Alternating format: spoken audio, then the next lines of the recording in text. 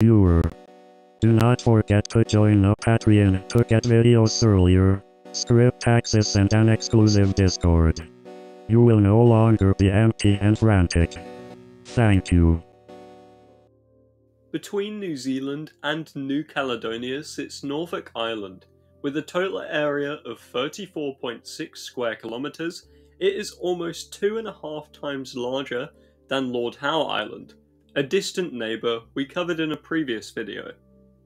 Due to the huge isolation of Norfolk Island, only animals that could fly or swim at least 900 kilometres could call this place home, and once they populated this area, they had a vast availability of resources. In the last instalment in this series, we spoke about Lord Howe Island, which much like Norfolk Island, suffers similar isolation from any other land masses. So it is important to compare the similarities and differences between these two islands. Lord Howe Island has the Kenetia palm, Norfolk Island has the Norfolk Island pine. These important exports also show their differences.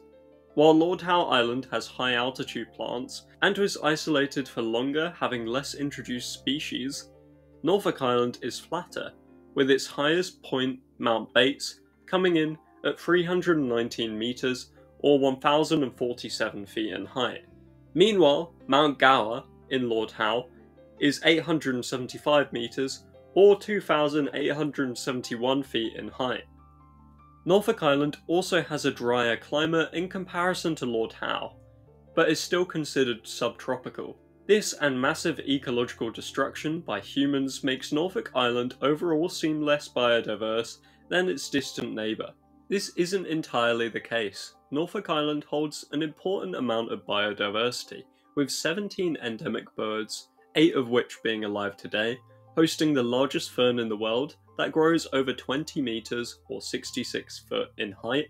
As well as this, it has one of the largest tiger shark populations in the world, and the southern Phillip Island is a nesting site for 12 species of seabirds and has three endemic plants found nowhere else in the world, making it just as equally biodiverse in its own right.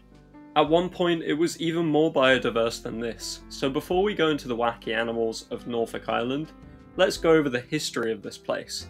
Yo, we now have channel memberships, so feel free to join that or the Patreon like these lovely people. Thank you very much, and let's get on with the video.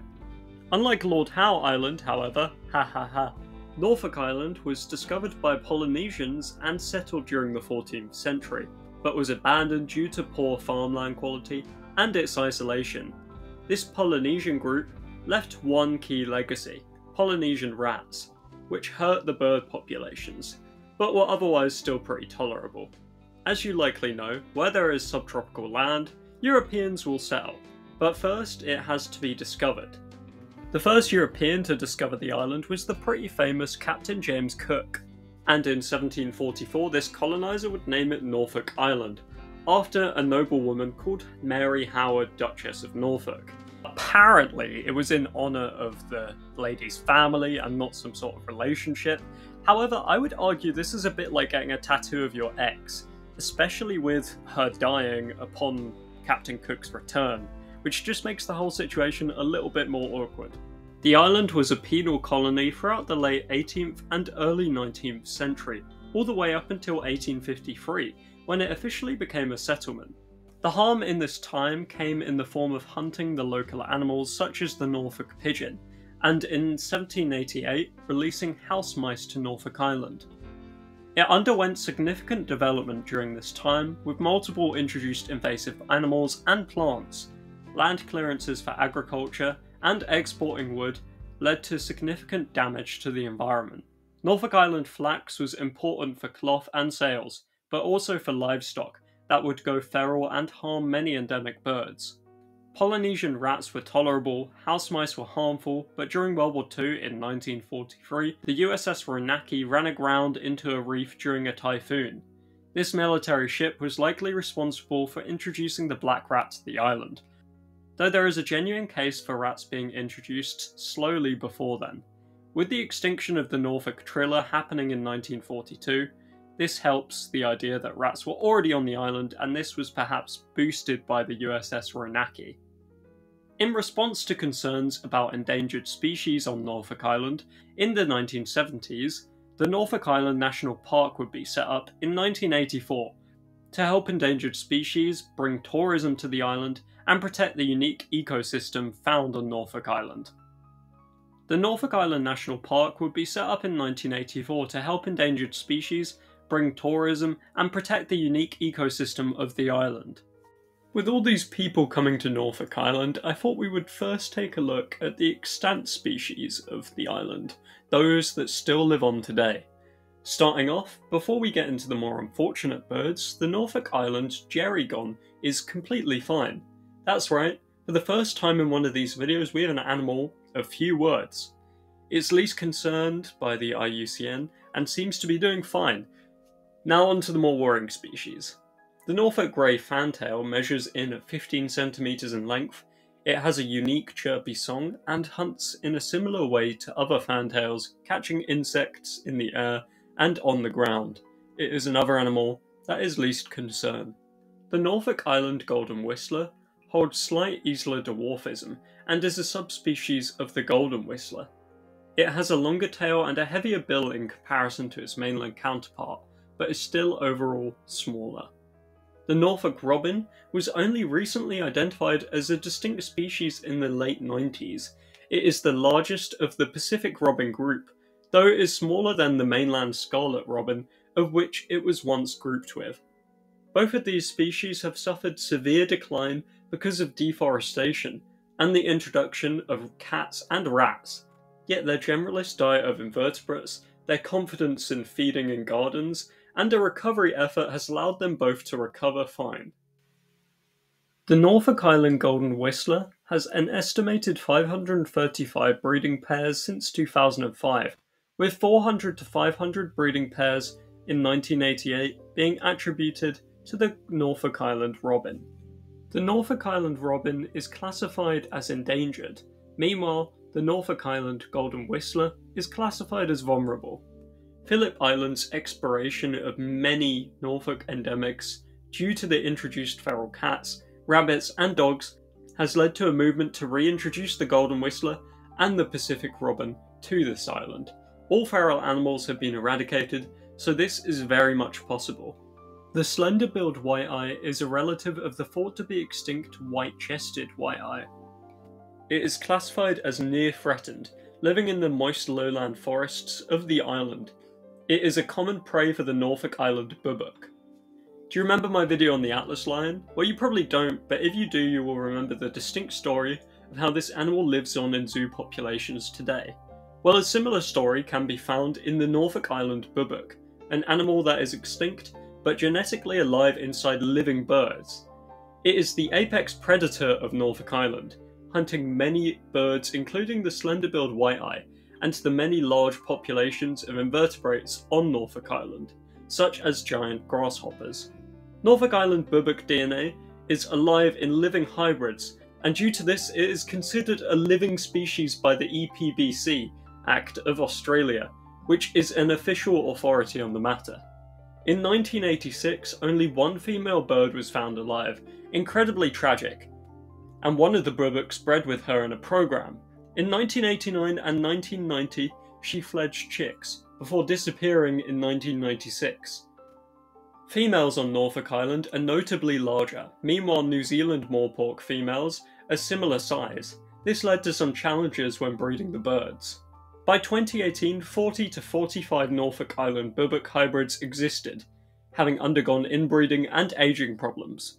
The modern animals are more similar to the New Zealand morepork than they are to the original birds. But this was a last-ditch effort to make sure the subspecies survived. Hopefully further efforts will be made to preserve the species, as there is still value in making sure the original niche of the Norfolk Island boobook survives, and making sure its genetic legacy lives on. The Norfolk parakeet, Cyanoramphus cookii, was named after the James Cook. Some argue it is synonymous with the Lord Howe parakeet, and for a while it was classified as nothing but a subspecies of the red-fronted parakeet in New Zealand. The classification of this bird is simply still up in the air in 2025. The Norfolk green parakeet was restricted to Mount Pitt eventually, due to the introduced predators to Phillip Island and all of the surrounding Norfolk Island. The flowering plant Akiaki and the Neo plant, I think I said that incorrectly, and the Norfolk pine made up 85% of their modern diet, with these Gen Z parrots also being infested with human introduced plants. African olives and cherry guava are frequented by the Norfolk parakeet, which likely made early settlers see them as pests. By the 1970s, only 50 animals were left in the wild, but conservation in the 80s through to the 2000s led to 250 fledged birds. Though they still have to cope with rats, European starlings, and cats, so this means their population is limited in range. Nesting boxes to prevent rats have been made. However, with fewer hollow trees to breed and fledge, one must question if these animals can survive without human intervention. The option to bring the Norfolk parakeet to Phillip Island is being seriously considered, due to the absence of vermin and safety in comparison to the mainland. A census in 2009 put them at 240 birds. In 2013, an estimated only 23 breeding pairs remain. This bird is in a battle with a huge amount of invasive species. We can only hope it makes it. Unfortunately, things get worse from here. 11 extinct species, 2 undescribed, and one potentially surviving. We've covered quite a few rails on this channel, however, today's species likely went extinct at the earliest time, being 1800. It was likely very unique in comparison to other rails.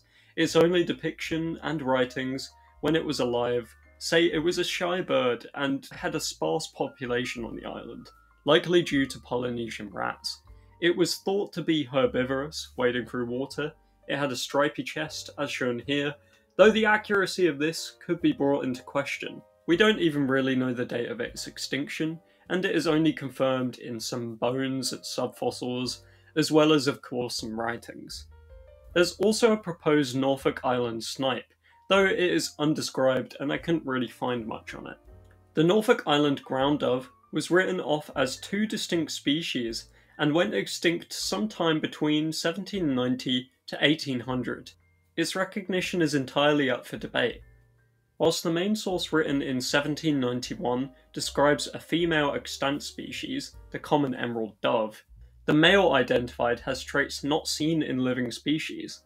Furthermore, subfossils of the Norfolk Island ground dove do not match any known species, so it likely does exist, but is incredibly elusive. The New Zealand kaka is an iconic parrot, and what would Norfolk Island be without its own kaka species? They had some pretty interesting differences. For example, the bill size of the Norfolk kaka is noticeably robust in comparison to the New Zealand kaka. It was also more vibrant, but the mainland kaka was on average slightly larger with a size of up to 45 centimeters, while the Norfolk kaka has an average size of 38 centimeters, which is on the low end of the New Zealand kaka in size range. The specimens collected from Norfolk Island and Phillip Island in the 1830s were seen as distinct species by ornithologist John Gould. He named them Nestor norfolkensis and Nestor productus, but later comparison shows that they are in fact the same species. John Gould would go on to give the first description of the Norfolk kaka. He would later even go on to work with Darwin. It would have been far more terrestrial than the New Zealand kaka, coming down to the ground to feed on flowering shrubs and trees, making it pretty easy to catch and kill, and eventually turn into a taxidermy, or even, as some accounts put, as a pet. The second penal colony likely led to a huge destruction to the environment. This and killing for food and entertainment made them a scarce sight in the 1830s.